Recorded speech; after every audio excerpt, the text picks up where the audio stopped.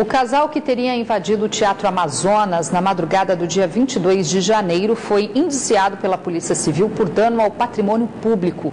Um laudo preliminar da perícia indicou que houve arrombamento. Na última quarta-feira, o biólogo Gabriel Gazana Barros, de 33 anos, prestou o um novo depoimento, onde negou a prática. Durante o ocorrido, a amiga dele, a turista paulista Bruna Cúrcio de Pascoal, também de 33 anos, foi atingida com um tiro nas nádegas após o vigilante notar que os dois suspeitos estavam dentro do local em horário proibido à visitação. O inquérito será encaminhado à Justiça. Uma audiência pública promovida pelo Ministério Público Federal discutiu esta manhã, na capital, a estrutura das agências bancárias, principalmente no que diz respeito à acessibilidade. A dificuldade na acessibilidade em algumas agências na capital começa na calçada e tem até escadaria, como nesta aqui, que fica no centro da cidade. Difícil para quem tem deficiência física, como relata o diretor da Associação dos Deficientes Físicos do Amazonas. Algumas agências têm uma rampa para entrar, mas você entra e não resolve nada. São, são escadas, às vezes no piso superior, os caixas para atendimento. Esta manhã, uma audiência pública sobre o assunto tinha como objetivo discutir as condições das agências bancárias na capital quanto à acessibilidade. Esse momento aqui ele vai ser muito importante, porque nós vamos chegar mais próximo do Ministério Público Federal também, para cobrar rapidez naquilo que infelizmente ainda é negado para as pessoas com uma deficiência. De acordo com o Ministério Público Federal, no Amazonas existe um termo de ajustamento de conduta que ainda não é cumprido integralmente. Que afinal, eh, os bancos eles eh, possuem lucros que, independente de crise, eles estão sempre crescendo e não tem justificativa para não terem adaptado suas agências, independente até mesmo da assinatura do TAC, porque existe uma lei federal que prevê isso. O objetivo também é conhecer melhor as demandas da população. Então, essa adaptação ela precisa ocorrer e a gente recebe essa demanda e atua nesse sentido, para que a gente consiga, de fato, tornar os órgãos mais acessíveis às pessoas com deficiência. Nos últimos cinco meses, vários voos diretos que saem de Manaus para destinos nacionais e internacionais foram cancelados ou tiveram o cancelamento anunciado pelas companhias aéreas. Preocupado com o baque no setor do turismo aqui na região, o governo do estado resolveu buscar alternativas para não tirar Manaus das rotas aéreas. A blogueira Gisele Barreto adora viajar. É um estilo de vida o viajante ele é um estilo de vida. Só para Miami eram pelo menos três viagens por ano.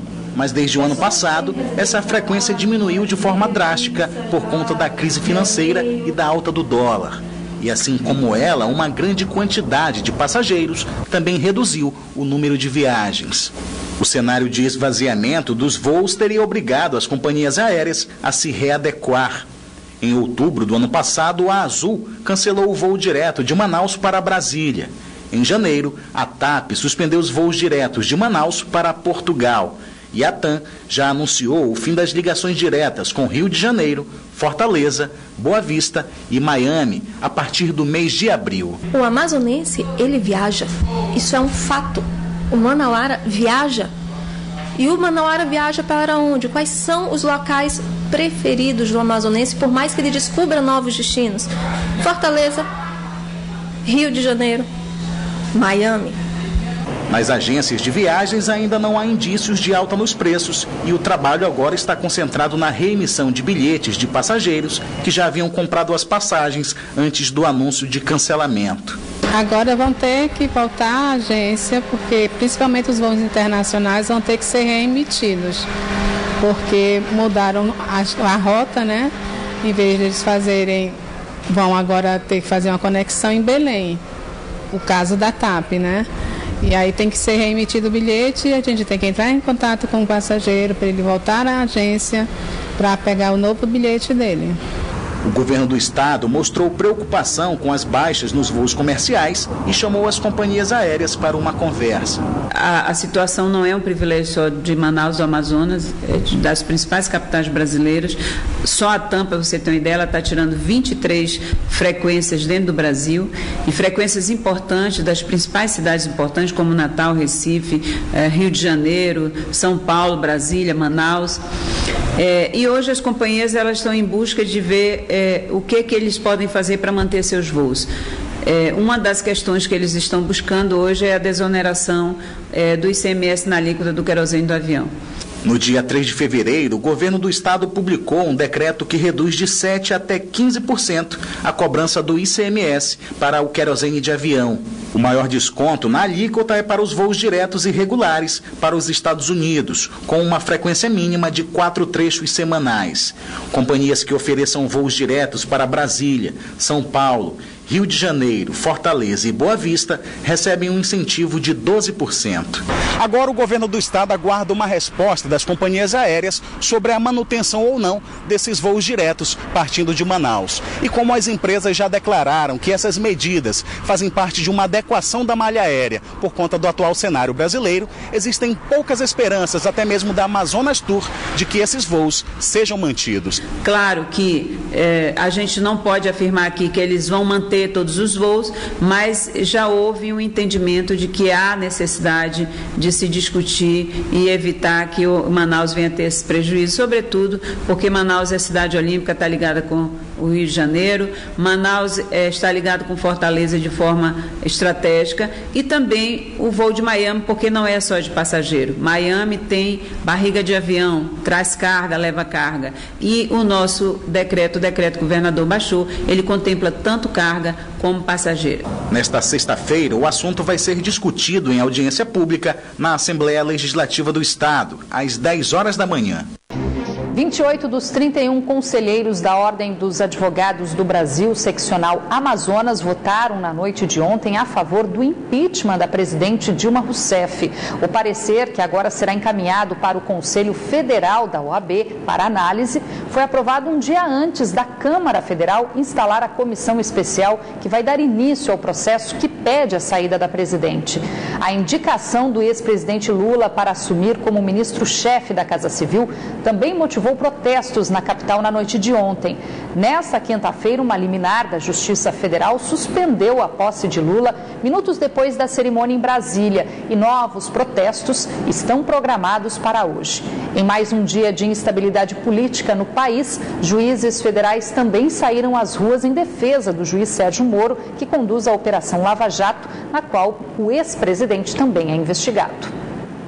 Depois de registrar a maior manifestação popular da história no último domingo, o Brasil vivencia uma instabilidade política que se agrava a cada dia, principalmente pelas decisões tomadas em Brasília. A indicação do ex-presidente Lula para ocupar o cargo de ministro-chefe da Casa Civil do governo Dilma gerou protestos espontâneos em várias manifestações pelo país nesta quarta-feira. Em Manaus, dezenas de pessoas também saíram às ruas na noite de ontem. Tá bem nítido que não tá legal, né?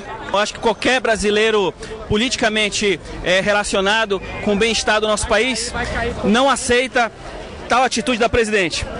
De ontem para cá, o Brasil vive um momento de tensão. A cada hora, novos fatos são revelados, o que causa uma instabilidade ainda maior entre os brasileiros. O Lula assumiu a Casa Civil Minutos depois, a posse do ex-presidente foi suspensa por decisão judicial, ou seja, mais uma vez os brasileiros assistem um descontrole político no país. Os atos de protestos dos brasileiros foram reforçados com a decisão do Supremo Tribunal Federal, que fixou o rito do processo de impeachment de Dilma Rousseff. Hoje, a Câmara Federal aprovou a instalação da comissão especial que vai analisar o processo que pede a saída da presidente. Nesta quarta-feira, a Ordem dos Advogados do Brasil no Amazonas se posicionou a favor do pedido de impeachment. Foram analisados, foram realizadas análises jurídicas dos fatos, não apenas uh, do pedido que já está em trâmite uh, no, no, Congresso Nacional, que é um pedido que diz apenas respeito à questão das pedaladas fiscais. Né? É, esse pedido que a OAB faz é com relação a delação do Delcídio Amaral, aos fatos novos. Nesta quarta-feira, juízes federais de todo o país também decidiram sair às ruas para defender a independência judicial e manifestar apoio ao juiz Sérgio Moro, que conduz as investigações da Operação Lava Jato e que virou alvo de críticas após a divulgação do grampo de conversas telefônicas entre Lula e Dilma Rousseff. Para os procuradores da Lava Jato, o teor das conversas evidenciam tentativas de obstrução das investigações. O presidente da Associação dos Magistrados do Amazonas e também professor de Direito Constitucional defende que a crise moral e política do país não pode fazer com que o trabalho do judiciário seja desqualificado.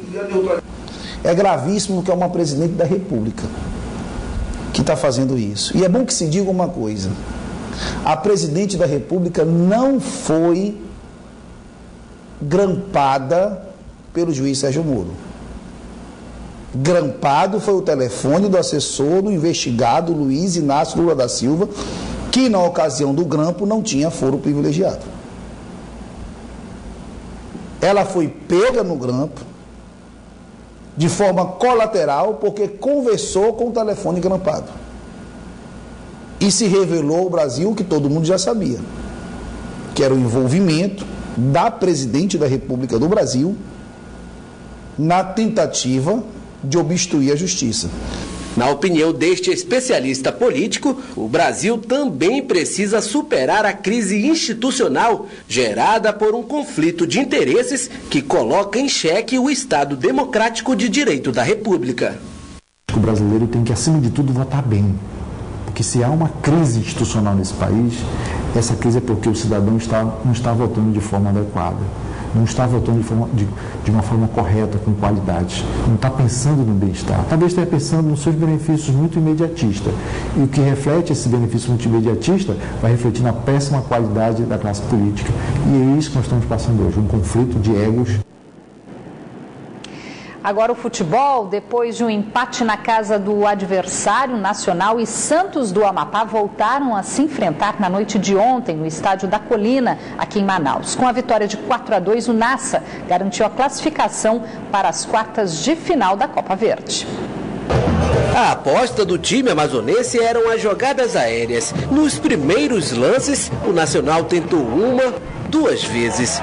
Na terceira tentativa pelo alto, a bola sobrou na entrada da área e Rodrigo Dantas esbarrou para o fundo do gol. 1 a 0 Nacional.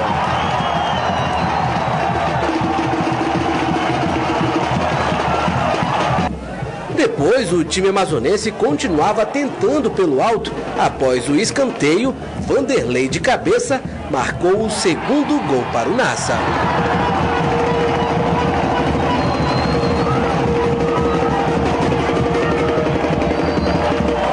Com bastante movimentação pelas laterais, o Santos do Amapá chegou a dar alguns sustos no goleiro nacionalino Roberto.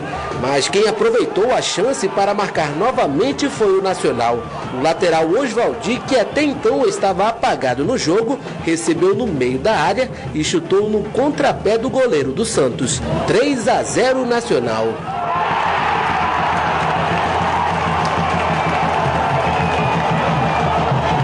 Mas o peixe do Amapá não queria nadar e morrer fora d'água.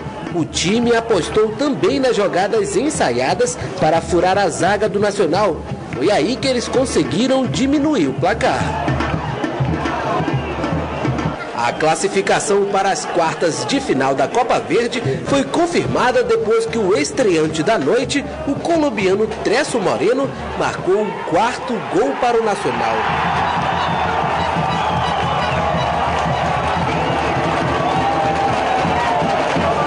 A essa altura do jogo, o Nacional comemorava o salto para a próxima fase da Copa Verde.